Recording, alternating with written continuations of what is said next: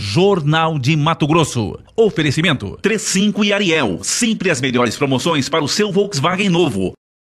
E SIC Construção. Construindo ideias. Um crime chocou os moradores de Sorriso, na região norte de Mato Grosso.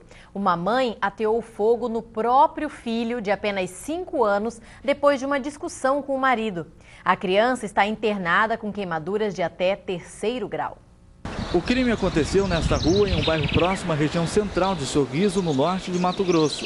Depois de uma discussão com o marido, que ameaçava sair de casa, Michele da Silva, de 21 anos, ateu fogo no próprio filho de 5 anos. A aparência dela não, não nos diz que ela tenha feito uso de qualquer produto entorpecente. Né? É, perguntado a ela sobre isso, ela disse que também não fez uso de nenhum produto entorpecente, de bebida alcoólica, de nada. Então, isso é que, que causa ainda maior estranheza né, da atitude dela com relação a essa criança. Muito nervosa, a mãe disse que se arrependeu logo depois e até levou o menino para debaixo do chuveiro na tentativa de atenuar o sofrimento dele. A pior coisa que eu fiz foi isso.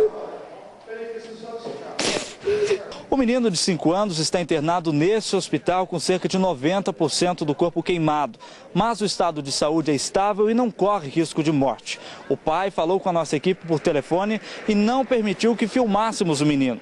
Ainda segundo ele, não há possibilidade de separação do casal. O Conselho Tutelar acompanha o caso e Michele foi encaminhada para o Centro de Ressocialização da cidade.